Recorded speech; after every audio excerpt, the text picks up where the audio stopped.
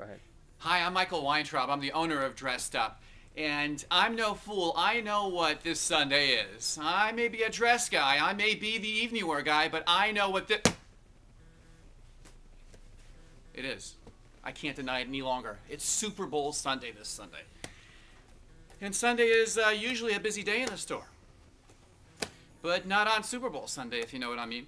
The gals are in the kitchen, the guys are watching the game, and it's Super Bowl Sunday, so I've got to do something drastic. Let me see, let me see. I know what I'll do.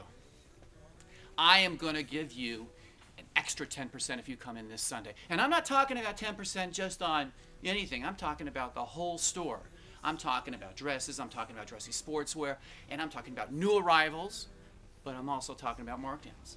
You take 10%, you come see me this Sunday, and you take 10% off. And you don't have to bring a football, you don't even have to bring your husband. But I'm like,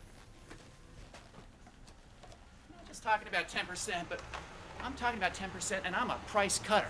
And don't make me use this, because I will. Don't make me use this. Come in and see me on Sunday so I don't have to cut them more, okay? Super Bowl Sunday I Dressed Up. Come see me. 10% off everything, but just on Sunday. See you Sunday.